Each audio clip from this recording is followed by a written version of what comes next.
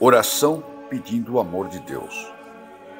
Ó meu Senhor Jesus, ó fogo que arde docemente, brilha secretamente e consome gentilmente, toma posse plena de todo o meu coração. Ó Rei dos Reis, Rei da glória eterna, conceda que eu tenha fome e sede apenas de ti, suspire por ti e deseje ardentemente contemplar o teu semblante. Conceda ao meu Senhor que, totalmente preenchido com a doçura do teu amor e totalmente incendiado pela chama da caridade celestial, eu possa desfrutar da tua presença com todo o meu coração e nos mais profundos recônditos de minha alma.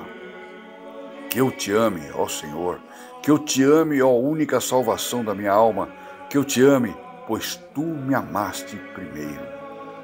Ó meu Senhor, compassivo e misericordioso, escreva na tábua do meu coração a agradável memória de ti, que nenhum esquecimento jamais poderá apagar.